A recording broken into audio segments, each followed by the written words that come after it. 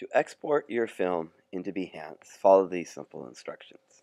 In Premiere, go to File, Export, Media.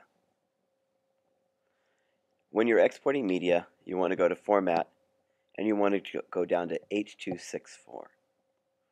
Second, you have to tell it where to save the media.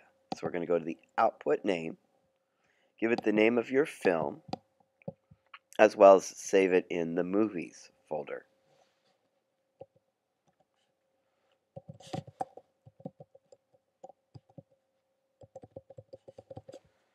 Make sure you click on the movies folder, hit save, then come down and hit export. And as the film is exporting, you want to go into your Photoshop and we're going to be opening up as well our tagline slogan that you created and go ahead and open up your slogan. Let's check back.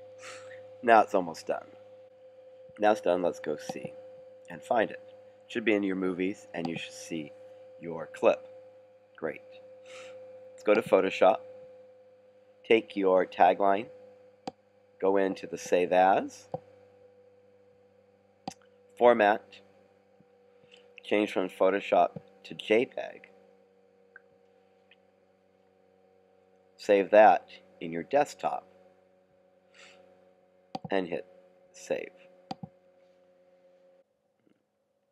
Go ahead to YouTube and if you haven't, go ahead and sign in. Hit OK once you've signed in. Next, you're going to hit Upload. Go to your Movies folder, and you'll drag in your file. Your file. For the description, write what your film is about. This film is about blank, blank, blank at fill it in. Don't worry about any tags here. We're going to skip. Make sure it says public and hit publish. When you're done, you can click on the link for share. And even though your video may still be processing, it is the embed link that you want. So you're going to go to share. Share first just gives you the URL, but go into the embed link and copy it. Next, go on into Behance, add work, add a project,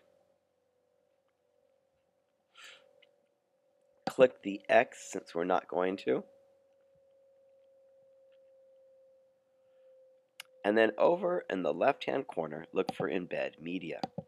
Here is where you will paste in your frame and hit Embed. Then you'll see your film come up. Once this is completed, next is to continue.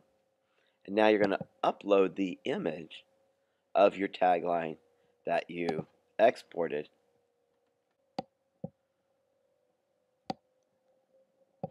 And now I'm going to hit crop and then give it the name of your film. And then for the tags, look on the website for the tags.